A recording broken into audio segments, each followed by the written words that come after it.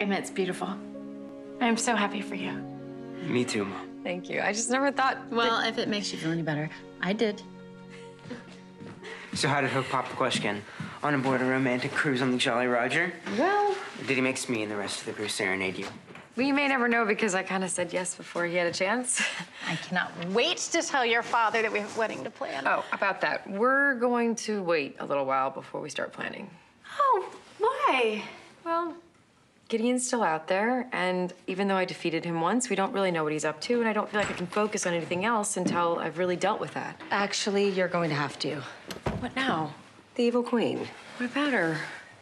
Is that an engagement ring? Oh, yeah. Um, Hook proposed. Emma. I'm happy for you. I really am. Thanks. Means a lot. That just leaves the question what happened to the evil queen? She's still a snake, right? I have no idea. She got loose. And if she has figured out a way to escape her mortal coil, well, there's no telling what evil she could be up to.